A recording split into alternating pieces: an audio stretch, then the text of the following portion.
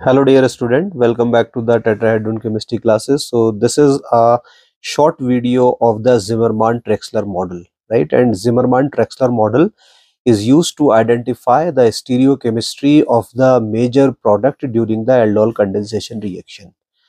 Zimmerman-Traxler model assumed that whenever the aldol condensation takes place between the enolate ion, lithium enolate and any your carbonyl compound then this six membered ring is formed right? And this is not exactly the transition state but it's a pseudo transition state according to the Zimmerman uh, Traxler model.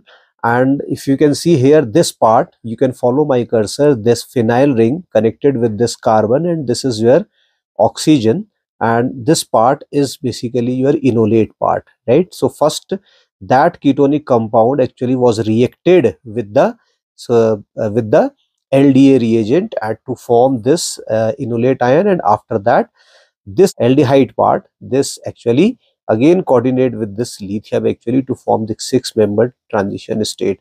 What you have to do you have to look for the substituent present on this particular ring. And first of all the, you have to consider two substituent. First is actually which is present on the uh, your uh, lithium enolate right? Uh, lithium enolate and this uh, phenyl group and this methyl group basically these two were the substituent which were present uh, this ethyl group which was present on the second in uh, carbonyl compound right? So uh, in these two you can see this phenyl is the uh, bulky group and in this carbonyl group this is the bulky group. So you have to look the uh, orientation of these two groups. So what Zimmerman Traxler model says it says that the uh, bulky part of the enolate ion will always occupy the axial position while your uh, bulky part of your or bulky group of your second carbonyl compound will take your equatorial position right? So this is axial this is equatorial position. Uh, this bond uh, will gets broken. So this will be your carbonyl compound now okay? And then uh, this is your lithium uh, compound. So if you want, then you can draw very quickly your compound.